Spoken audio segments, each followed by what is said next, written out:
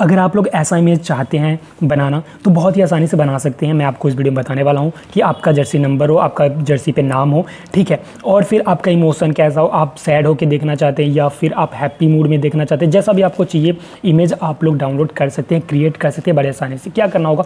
आपको आना है सिंपली अपने क्रोम ब्राउज़र पर या किसी भी ब्राउज़र पर वहाँ पर लिखना है विंग इमेज क्रिएटर उस पर क्लिक करना और जो पहला लिंक आएगा विंग का, उस पर आप लोग चले जाना। ये विंग जो है माइक्रोसॉफ्ट का, इस पर आपको अकाउंट बनाना पड़ता है और भी कुछ रूल है, वो मैं आगे बताऊँगा। पहले बताता हूँ कैसे आप लोग इमेज क्रिएट कर सकते हैं। बिल्कुल ही फ्री है, ऐसा बात नहीं है कि आपको पेमेंट देना पड़ेगा। कुछ भी नहीं है, ठीक है फ्री है।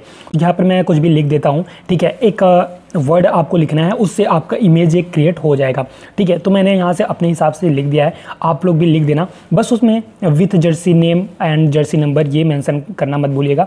बाकी आप लोग इमोशन जैसा चाहें, जैसा आप लोग देना चाहें, आप लोग दे सकते हैं। यहाँ पर देख सकते हैं, ये बन के आ भी गया है। यहाँ पर लॉन्ग प्रेस करके डाउनलोड कर सकते हैं, या फिर नीचे जो थ्री डॉट दिख रहा है, उस पर क्लिक करके भी डाउनलोड कर सकते हैं।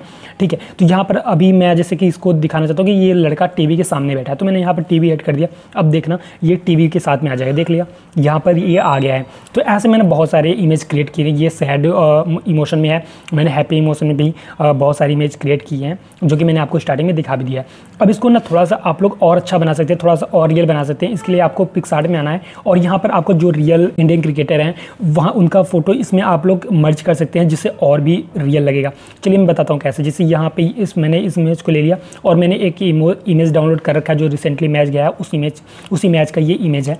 तो उसको मैं मैं यहाँ पर लाता हूँ और फिर इसको मैं आराम से फिट करके और इसके हिसाब से मैं यहाँ पे इसको एडिट करके मर्ज कर दूँगा। तो ये ना और भी अच्छा लगेगा, थोड़ा और रियल लगेगा। तो इसमें मैंने ऐसे ही सिंपल सा कर दिया है। अगर आपको बताने के लिए मैंने एज एग्जांपल ऐसे सिंपल सा कोई इमेज उठा लिया आपको जो भी पसंद आता है, जो भी इमेज आप लोग लगाना चाहते हैं, वो यहाँ पर लगा सकते हैं। यहाँ पर आप लोग चाहें तो वीडियोस भी लगा सकते हैं, ठीक है? तो वीडियोस लगाने का थोड़ा सा तरीका अलग होता है, पर वीडियोस भी आप लोग लगा सकते हैं यहाँ पे। यहाँ पे मैं सिर्फ़ आपको इमेज लगा के दिखा रहा हूँ।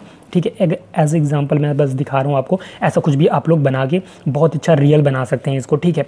और यहाँ पे चाहे तो और कुछ भी ऐड करना चाहते हैं साइड में कुछ और ये वो तो कर सकते हैं वो। लेकिन यहाँ पर मैंने टीवी पे ये लगा दिया रियल इमेज जिससे ये लगेगा कि एक रियल मैच चल रहा है और कोई बैठ के देख रहा है। और उसके बाद आपको पीएनजी या फिर जे में डाउनलोड कर लीजिए। ये बहुत ही आसान था, लेकिन यहाँ पर ना आपको माइक्रोसॉफ्ट में जाके एक अकाउंट क्रिएट करना पड़ता है। सिर्फ़ जी मेल लगेगा और कुछ भी नहीं लगेगा।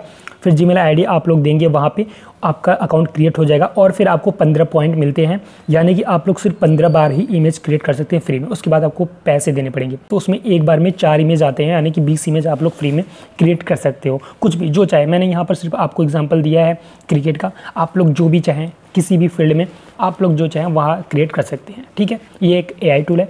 मुझे उम्मीद है कि आपको वीडियो पसंद आएगा। वीडियो पसंद आए प्लीज़ लाइक कर देना अपने दोस्तों शेयर कर देना मेरे चैनल पर नए हैं या फिर अभी तक मेरे चैनल को सब्सक्राइब नहीं करके है तो प्लीज़ यार चैनल को सब्सक्राइब कर लीजिए मिलते हैं अगले वीडियो में अगले टॉपिक के साथ। तक लिए बाय बाय